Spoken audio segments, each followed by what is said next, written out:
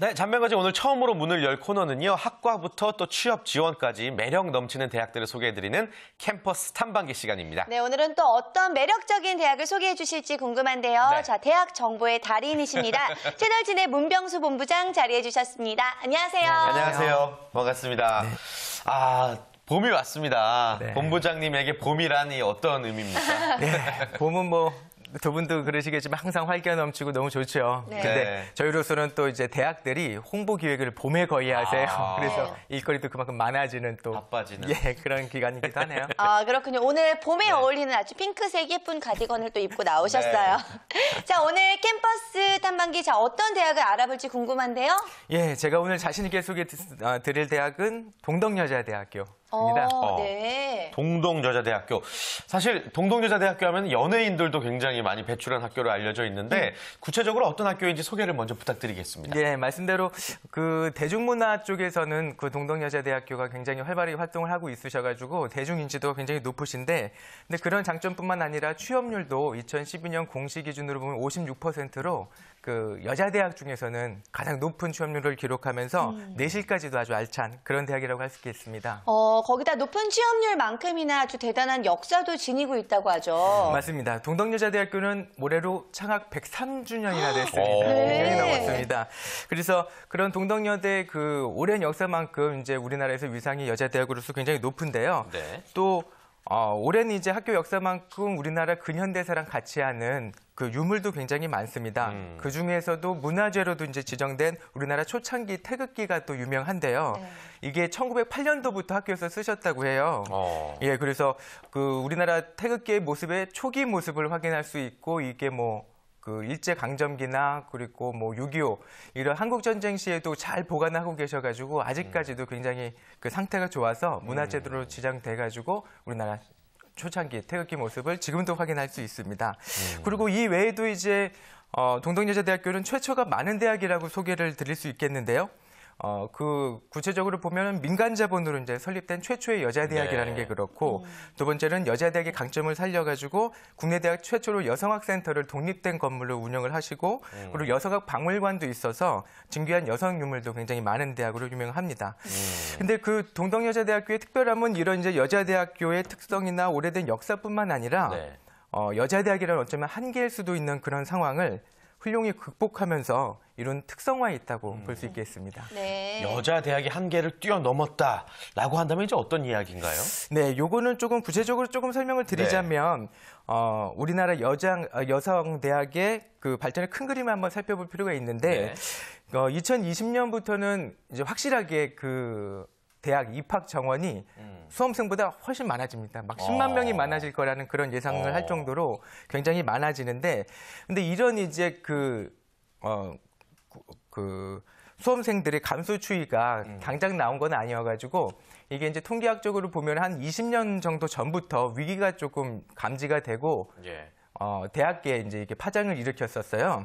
근데 여자 대학으로서는 그게 좀 영향을 많이 받았습니다. 왜냐하면 진작에. 네, 예, 예. 여자 대학 같은 경우에는 그 조금 더 선호도가 좀 낮아진다고 할까요? 네. 종합대학 이제 남녀 공학을 가려는 그런 생각들 때문에 선호도가 낮아지는 것도 이제 그 감지가 되었고 여자 대학으로서 이렇게 성장에 조금 한계가 있지 않느냐 이런 얘기들도 많았기 네. 때문에 여자 대학은 한 20년 정도 전부터 그렇다면 우리가 여성 대학으로서 어떻게 음. 더 자리매김을 강하게 할 수 있을까 이런 이제 고민들을 많이 하셨고 네. 동덕여자대학교는 특히 그 중에서도 특성화 우리는 특성화로 살아남겠다 해가지고 그걸 성공적으로 이룬 그런 대학교라고 할 수 있겠습니다. 어, 교육을 특화 전략을 세워서 이렇게 특성화를 살렸기 때문에 지금의 동덕여대가 있을 수 있었다는 이야기일 것 같은데, 네, 네. 자 그렇다면 구체적으로 어떤 점들을 특화시켰을까요? 네.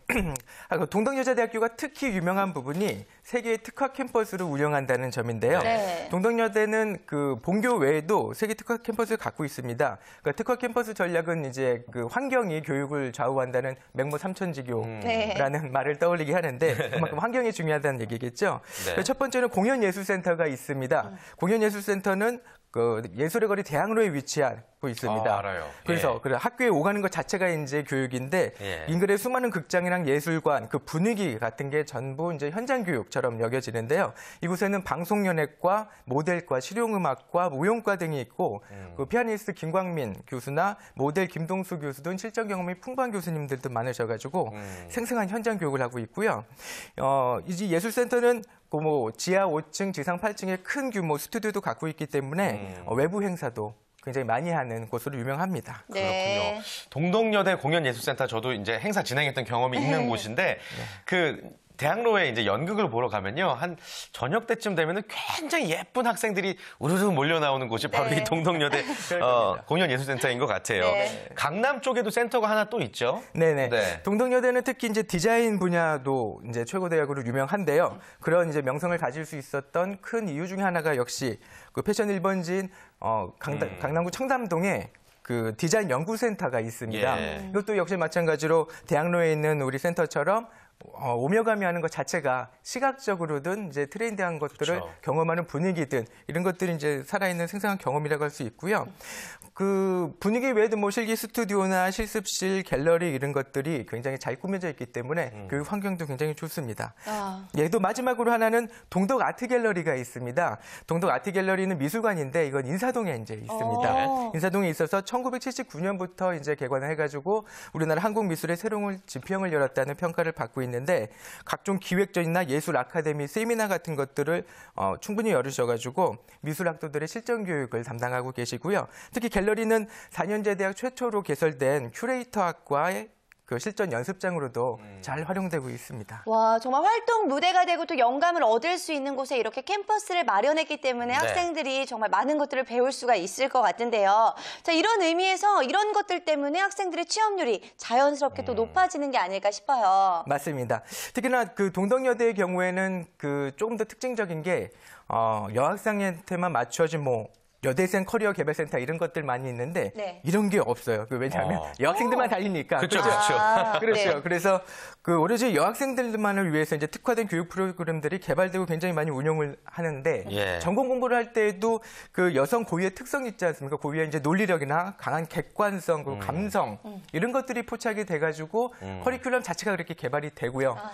그리고 반대로 또 이제 그런 부분에서 여성 특유의 조금 이제 그 보완점 부분을 그 부분만 또 보완 을 해주기 때문에 훨씬 더 양질의 교육 그리고 커리큘럼 자체도 그렇고 교육 프로그램도 그렇게 좋게 개발이 되고 있습니다. 네. 그렇군요. 그 학습 분위기는 어떻습니까? 사실 여대이기 때문에 여학생들이 남학생이 없어서 좀 신경 안 쓸 것 같기도 하고 되려 여학생들 사이에서 좀 더 막 그런 미모에 대한 경쟁이 붙을 것 같기도 하고 네. 어때요? 맞습니다. 제가 좀 봐- 보니까는 지금 그 좋은 점으로 좀 저는 이렇게 어. 생각이 되더라고요. 예. 그 말씀대로 그 여학생들만 있으니까 좀 자유로운 분위기, 편안한 분위기 분명히 있는데 음. 보통 이제 그 한창 또 민감한 나이니까 이성과 같이 있으면 외모도 꾸미고 그렇죠. 이런저런 신경 쓸 게 많으실 텐데 음. 학생들이. 근데 여학생들만 있다 보니까는 뭐 이렇게 꾸미는 걸 좋아하는 학생들은 또 꾸미고 다니지만 음. 그런 거 좋아하지 않고 공부하겠다는 걸 굉장히 편안하게 다녀서 아. 예 확실히 이제 놀 땐 놀고 공부할 땐 공부하는 이런 분위기가 음. 굉장히 강하더라고요. 아, 그렇군요. 왜 이 여고나 여중의 분위기는 진짜 다녀본 사람만이 아는 게 저는 여대를 다니지는 않았지만 이뭐 체육복에다가 위에 교복 위에 덧입고 슬리퍼. 신고 다니고 이런 여고생의 그런 모습들이 있거든요. 네. 그렇기 때문에 아무래도 편안하게 또 학업에 집중할 수 있지 않을까 싶습니다. 음. 그래요. 그런 네. 분위기에 분명히 도움이 되겠죠.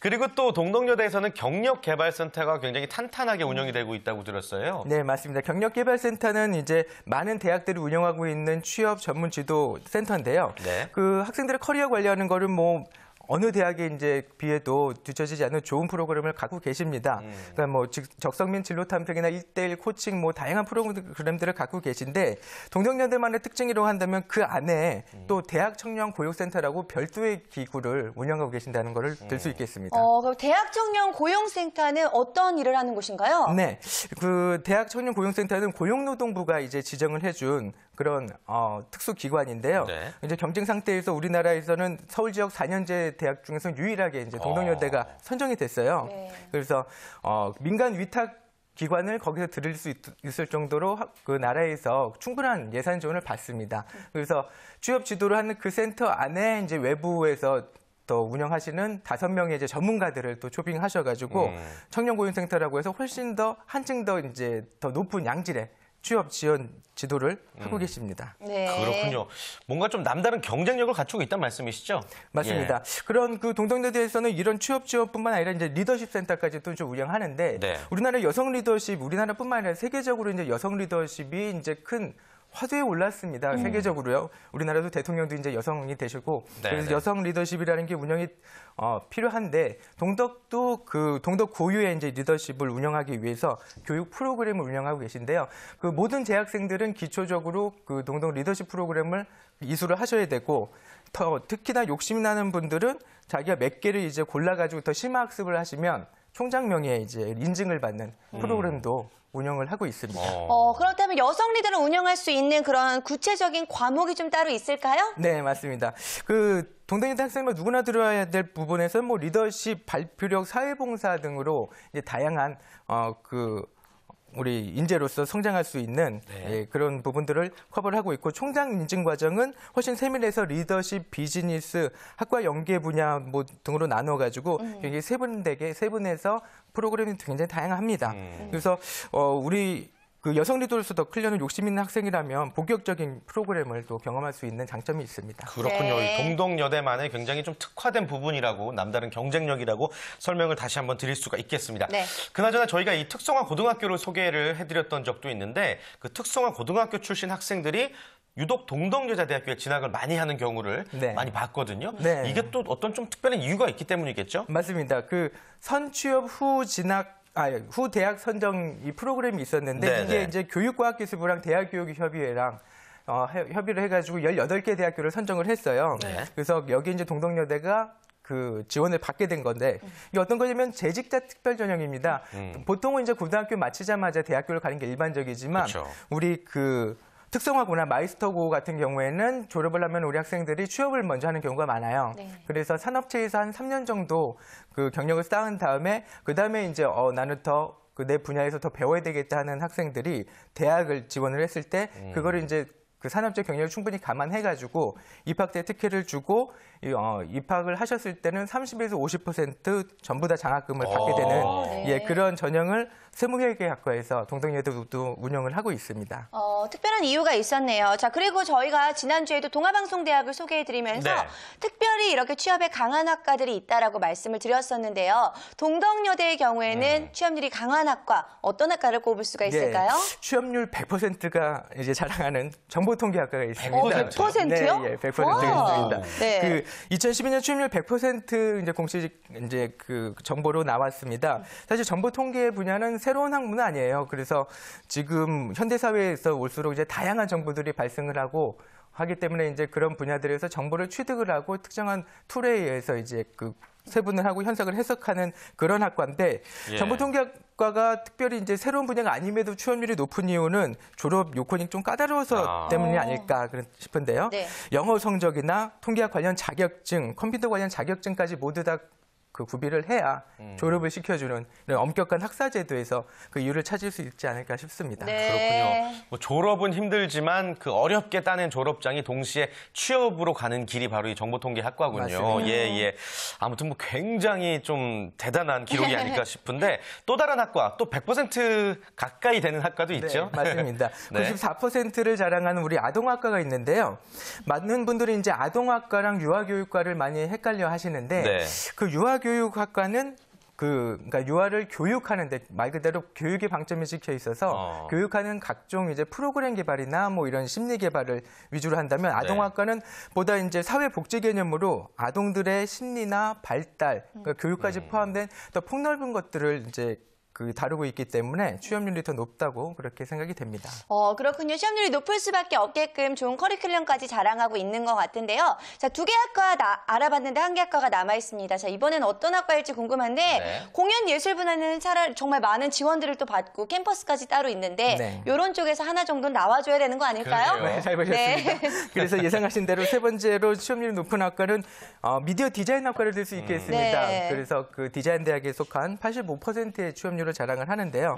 어, 디- 미디어 디자인 학과는 예전 같은 경우에는 이제 그 디자인이라면은 뭐 영상 매체, 종이 매체 이렇게 좀 한정이 돼 있었는데 지금은 스마트폰도 개발이 되고 뭐 온라인 매체도 굉장히 다양해져서 매체들이 다양해졌어요. 그래서 거기에 맞는 이제 디자인들이 조금 조금씩 성격들이 달라서 그 매체에 맞는 그 디자인을 공부하고 학습해서 그 사회에 진출시키고 있습니다. 네. 아무튼 이 취업률이라는 게 어, 졸업을 사실 공식적인 취업률인데 비공식적으로 따지면 더 많은 취업률을 보이고 있잖아요. 네. 맞습니다. 그래요, 그래요. 자, 아무튼 1, 2, 3위를 알아봤고 4, 5위를 차지한 학과는 또 어떤 학과들일까요? 네, 어, 네 번째는 큐레이터 학과 들 수 있겠습니다. 네. 75%를 자랑하고 있는데 그 큐레이터라는 것은 뭐 미술관에서 박물관이나 미술관에서 모든 자료를 책임지는 사람을 의미를 네. 그렇죠. 하죠. 근데 동덕여자대학교가 큐레이터 학과를 우리나라에서는 4년제 대학에서 처음으로 이제 어. 그 개설을 하셔가지고 한국 최초라는 전통만큼 사회에서 환영을 많이 받고 있습니다. 네. 마지막으로는 응용화학과 70%를 들 수 있는데요. 응- 응용화학이라는 건 뭐 화학이라는 기초학문이기 때문에 항상 우리나라가 이제 뭐 산업 발전에 따라서 화학은 계속 변동이 되면서 취업률은 계속 항상 높았어요. 근데 최근에는 또 에너지 분야가 이제 어, 세계적으로 각광을 받으면서 네. 응용화학과 역시 에너지 분야에 이제 부응을 해가지고 어, 계속 취업의 문은 넓어질 거라고 보고 있습니다. 네. 와, 정말 취업률이 높은 학과들이 참 많이 있는 것 같은데요. 저 이렇게 캠퍼스 얘기를 하다 보면은 봄도 되고 하니까 음. 아. 새학기 생각도 나고 이 캠퍼스의 낭만을 다시 한번 느껴보고 싶다는 생각이 듭니다. 그렇죠. 그 잔디밭에서 막 뒹구르면서 네. 도시락도 먹고 예. 네. 그리고 도시락 만드셨다고요? 예. 아무튼 뭐 네. 잔디밭 뒹구실 때 여러분들 유행성 출혈 조심하시고요. 네, 그- 자, 오늘도 정말 알찬 동덕여자대학교에 네. 대한 소식들 전해주셨는데요. 자, 마지막으로 마무리해 주실까요? 네. 네, 네. 이제 새봄 뚫쩍 다가와가지고 누구라도 이제 설레일 텐데요. 동명여자대학교 같은 경우에는 새학기를 맞아 더욱 더 설레고 있습니다. 왜냐하면 목화관이라는 기숙사가 최근에 완공이 됐거든요. 어, 네. 그래서 270명의 이제 학생을 수용하는 목화관 이 기숙사가 동덕여대만의 학풍을 만드는데 어떤 역할을 할지가 또 기대가 됩니다. 네. 그래서 안정적인 이제 취업을 위해서 자신의 여성성을 조금 강화시키고 혹은 이제 그 약점은 보완하는 그런 것들을 꿈꾸는 여학생들이라면 네. 동덕여자대학교를 관심 있게 보시는 게 굉장히 도움이 될 것 같습니다. 네, 네. 동덕여자대학교에 대해서 오늘 잘 알 수 있었습니다. 아, 그나저나 본부장님은 대- 우리 대학생들보다 더 열심히 공부하시는 것 같아요. 열심히 좋은 정보를 드리기 위해서 많이 공부하고 있습니다. 네. 그래요. 오늘 말씀 고맙습니다. 네, 고맙습니다. 감사합니다. 네, 다음 주에도 아주 괜찮은 학교 소식 계속되니까요. 많은 기대 부탁드리겠습니다. 네, 자, 오늘도 어김없이 김효선 캐스터가 여러분들을 위한 알짜 정보들 준비해봤습니다. 취업 정보 백서 함께 하시죠.